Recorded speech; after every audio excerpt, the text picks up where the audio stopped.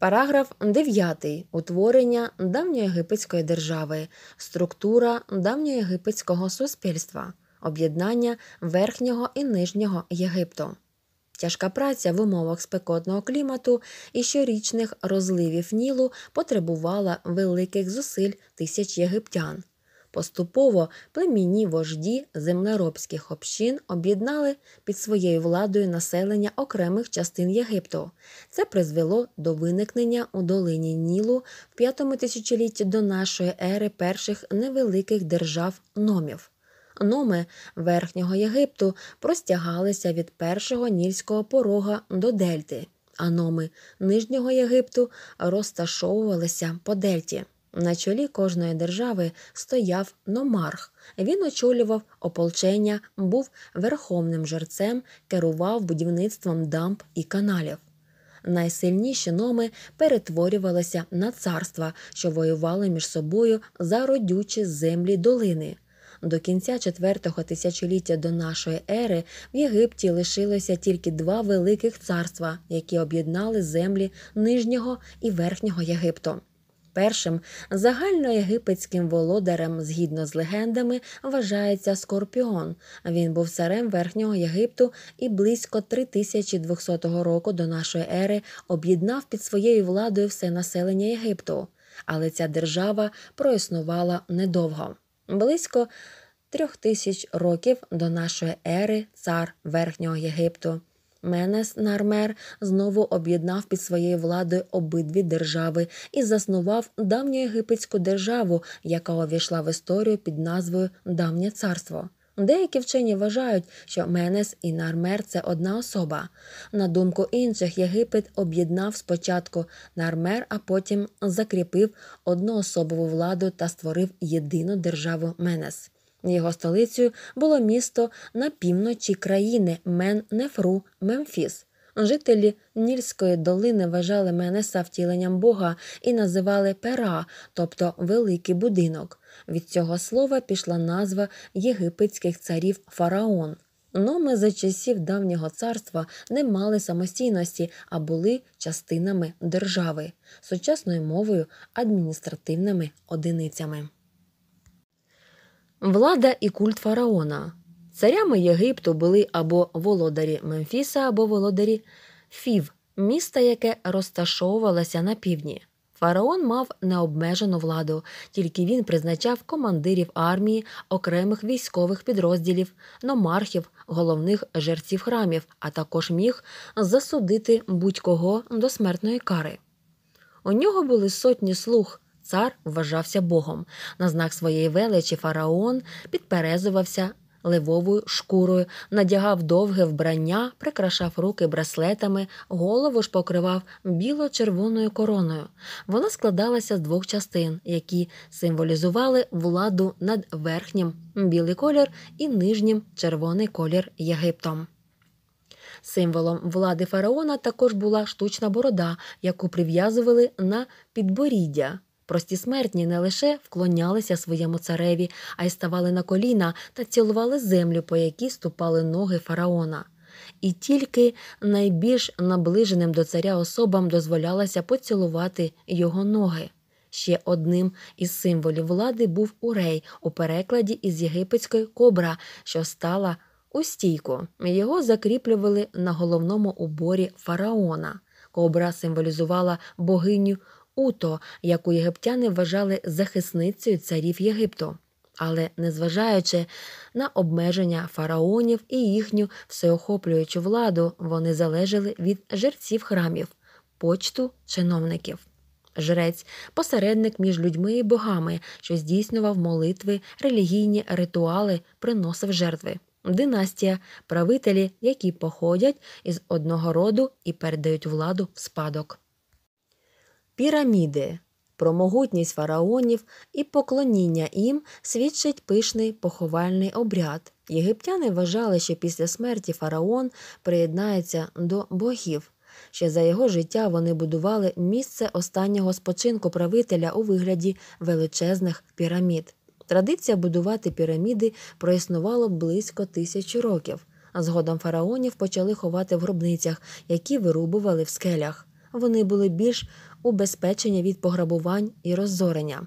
Першу піраміду збудували за царя Джосера майже п'ять тисяч років тому. Вона була ступінчастою, нагадувала сходи. Піраміди різняться своєю будовою, вони мають різне розташування ходів, галерей та поховальних камер. Так, у піраміді Хуфу Хеопса є три камери. Усі три камери з'єднані коридорами, шахтами. До зали царя веде галерея. Від неї відходять у північному і південному напрямках вузькі шахти завдовжки 65 метрів. Це дороги, якими, за уявленням єгиптян, рухались на небо душа царя. Шахти, перекриті тонкими дверима, вони символізували межу між реальним і потойбічним світами. Піраміди, унікальні творіння людських рук, стали символом Єгипту. Спокій великих пірамід охороняє Сфінкс. Сфінкс гігантська фігура з тілом лева і головою людини в уборі фараона. Фараон і чиновники. Усі жителі Єгипту повинні були безперечно підкорятися фараону. Навіть найзнатніші з них падали ниць перед ним і прославляли його велич словами так надійде повелитель, так як буде йому завгодно, бо ми дихаємо повітрям лише за його милості. Для управління країною фараон призначав головного міністра чаті, міністрів, які керували верхнім і нижнім Єгиптом. Особливий міністр розпоряджався продовольчими запасами країни. Міністрам підпорядковувалися чиновники різних рангів. Чиновники управляли містами, селищами, будівельними роботами. Дуже важливою справою для чиновників був збір грошових податків і податків, які здавали натурою, зерном, продуктами харчування, худобою, ремісничими виробами. Для виконання обов'язків чиновника потрібно було вміти писати і читати. Писарі в очах народу були дуже важливими людьми.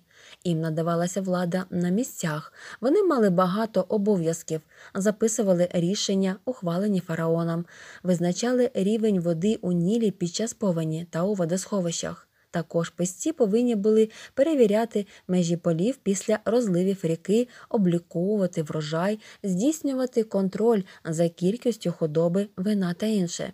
На їхні плечі лягало визначення та збирання податків. Чиновники різних рівнів утворювали піраміду влади, ієрархію, на вершині якої був фараон.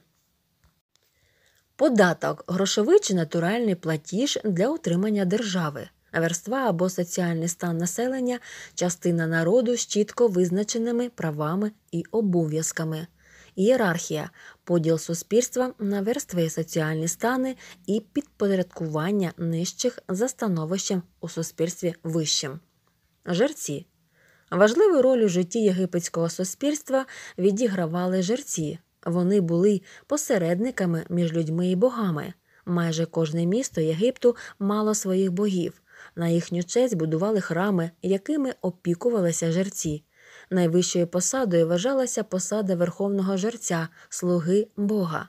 Ним часто був сам фараон. Наступну сходинку посідав жрець, що керував храмами. Верховному жерцю підпорядковувалися нижчі жерці. Вони виконували повсякденні ритуали, опікувалися станом храму та потребами богів. Серед них вирізнялися жерці астрономи, які спостерігали за зірками і намагалися пророкувати майбутнє, жерці, які стежили за розпорядком дня у храмі, читці, що проговорювали священні молитви, переписувачі папірусів, господарники, які опікувалися сільськогосподарськими угіддями, бібліотеками та інше. Селяни і ремісники Переважну частину жителів давнього Єгипту становили вільні землероби. Вони об'єднувалися для обробітку землі, будівництва та використання зрошувальної системи, утворюючи землеробські общини. Саме землероби виконували велику кількість обов'язкових царських робіт, споруджували піраміди, палаци, гробниці. Ще одним їхнім обов'язком перед державою була служба у війську фараона. Важливою ланкою у суспільному житті були ремісники, які забезпечували жителів Єгипту всім необхідним. Воїни Єгипту Армія давнього Єгипту складалася із загонів піхоти та бойових колісниць. Фараони збирали військо за потребою, його набирали із селян. До нього потрапляв один зі ста дорослих чоловіків. Основним завданням війська була охорона кордонів країни. За часів Нового царства армія стала професійною, її основу становили воїни, які побували у битвах. За свою службу вони отримували рабів, трофеї, земельні наділи. Часто єгипетське військо посилювалося найманцями, наприклад, нубійцями, які жили на півдні держави. За нового царства піхота складалася з легко та важко озброєних воїнів. Перші вміло орудували луком і стрілами, другі озброювалися легкими серпастими або важкими прямими мечами. Поширеними були короткі списи та списи для метання дротики, але головною зброєю лишався лук. Єгипетська піхота мала захисні обладунки, що складалися з грубої тканини, якої обгортали тіло, шкіряних або бронзових шоломів. Тіло захищав щит, який мав закруглений верх. Колісниці з'явилися в Єгипті за нового царства. Їх робили з дерева, і вони були надзвичайно легкими.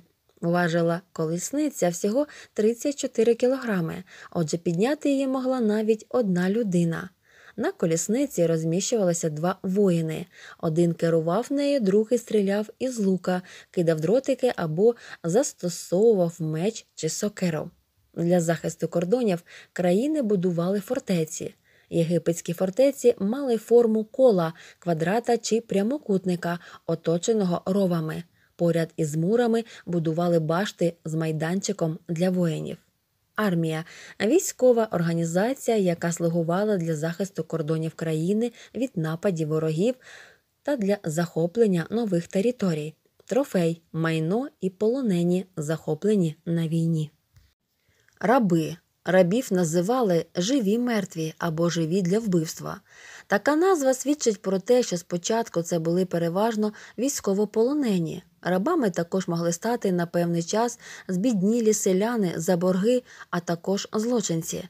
Переважно рабів використовували на важких земляних роботах, копальнях, будівництві.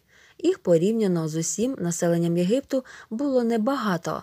Вони лише в один період розвитку країни нове царство відігравали помітну роль у житті суспільства.